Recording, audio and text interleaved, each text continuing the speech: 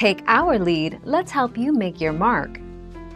Our goal is your satisfaction. Let us show you the way. 8 Ways to Tackle Indoor Air Pollution and Reduce CO2 Levels.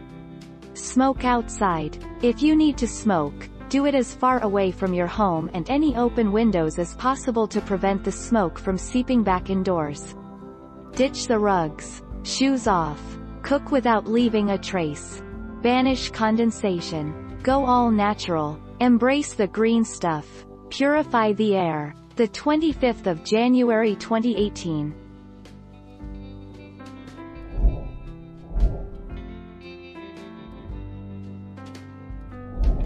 Make your mark, take our lead. Replace your air filters and any other parts as needed to improve ventilation and lower CO2 levels in your home. Design your home to support airflow. Limit open flames. Incorporate plants in your home.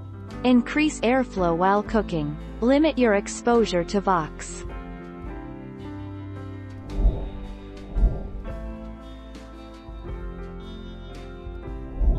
Make your mark, take our lead.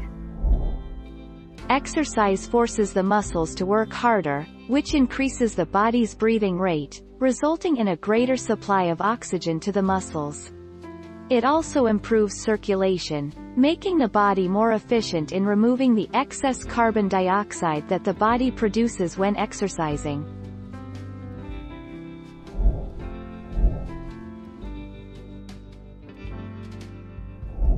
Let's help you make your mark. Household appliances, such as gas fires, boilers, central heating systems, water heaters, cookers, and open fires which use gas, oil, coal and wood may be possible sources of CO gas. It happens when the fuel does not burn fully. Running a car engine in an enclosed space can cause CO poisoning. Thank you for watching. Please subscribe and hit the bell notification.